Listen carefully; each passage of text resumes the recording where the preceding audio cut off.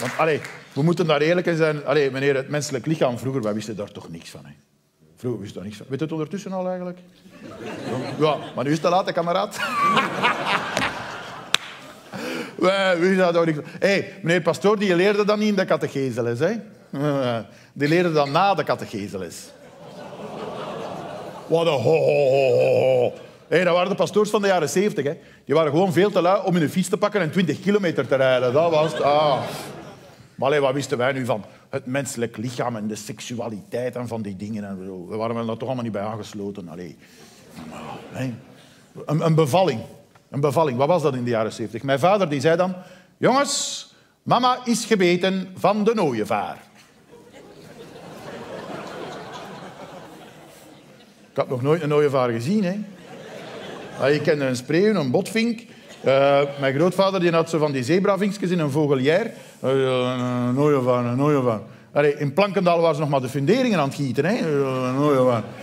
Toen mijn moeder voor de derde keer gebeten was door die ooievaar, zei ik tegen mijn vader... Papa, geen probleem. Ik heb zo'n hoop rattenvergif gelegd in onze tuin. Het zal rap gedaan zijn met dat strontbeest dat ons moeder ligt te bijten. Pataat tegen mijn kop. En ik bedoel, wat, wat wist ik nu van een bevalling? Wat mij opviel was, als mijn moeder gebeten was door de ooievaar, gaf dat om te beginnen een ongelooflijke zwelling dat je er met mercurochrome niet af kreeg. Ik heb het eens geprobeerd toen als ze lag te slapen op de zetel. Het ging er niet af. Ik kreeg weer een klets tegen mijn kop.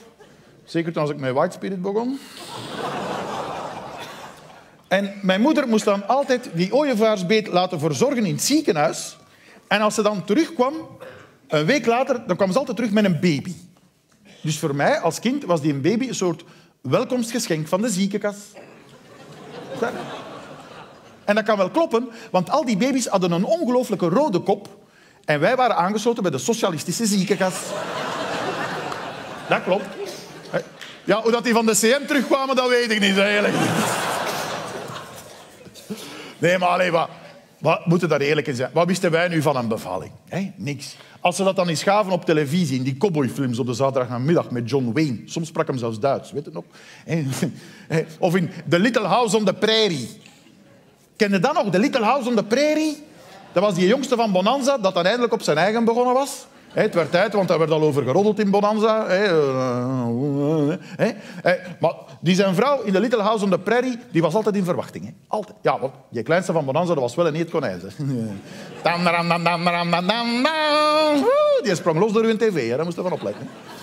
En die zijn vrouw kwam altijd met die dikke buik van die trap gestesteld zo. Ja, Jos. want die jongste van Bonanza heette eigenlijk Jos, maar om commerciële redenen in Hollywood had hem zijn naam moeten veranderen. Ja, Jos, het is zover. Het kindje gaat komen. Het kindje gaat komen. Het kindje gaat komen. Het kindje... Kom aan, jongens. De lakens scheuren. En nu 100 liter water opwarmen. Nooit begrepen. Ja, nooit begrepen. Waarom moet u lakens kapot scheuren als uw vrouw in verwachting is? Ja, ja begrepen? Nee? Nooit begrepen. Ja, water opzetten, dat was logisch. Hè? Dat was om een beetje koffie te maken, vooral de geburen dat op bezoek gingen komen natuurlijk. Ja, dat was logisch. In elk geval, meneer, nu, als uw vrouw in verwachting is... ziet hem verschieten. dan is het zeker niet van mooi. Dan is zeker niet van mooi. Uh, nu moet uw lakens niet, niet beginnen kapot scheuren, eh, scheuren. Zeker niet als dekbedden zijn. Hè. Blijf eraf. Hè. Nee, nee. nee. Wat we moeten nu doen? Nu moeten we naar de telefoon lopen. Om de belangrijkste persoon eerst te bellen. Wie? Uw moeder? Nee, de traiteur. Je belt uw moeder wel. De traiteur. Om de babyborrel te organiseren. Dat is nog zoiets. Hè? Allee, vroeger, als uw vrouw kwam, zeggen ze van... Ah wel, ik zit er nou wel mee. Hè? Ja, goesting gehad, zijn wel content. Hè? Vetzak. Want vroeger was er veel meer romantiek in het leven. Hè? Dat is veel meer romantiek. Hè? Dat was... Dat, dat, dat, was niet zo cool zoals nu. Hè. Dat, mensen babbelden toen nog met elkaar. Hè. als uw vrouw dan kwam zeggen... Ah, schiet er nou mee, hè. Nou, hoe gaat zijn content? Hey, vetzak. een echte vent, die ging toen de traiteur niet bellen. Hè. Uh, een echte vent, die ging helemaal in zijn eentje zijn verdriet verzuipen op café. Dat waren mannen. Dat heb je nog gedaan, hè, jong. Dat waren mannen. Ik ken er die twee, drie dagen wegbleven als er sprake was van tweelingen.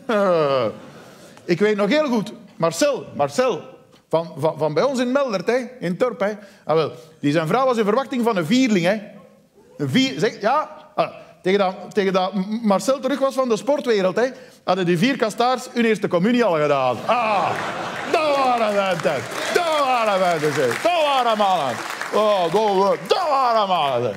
Voilà. En, uh, en mijn grootvader zag dat dan wel eens, dat wij als kind omver vielen van verveling. En gelukkig zei mijn grootvader dan... Jongens, en na gaan we een doen.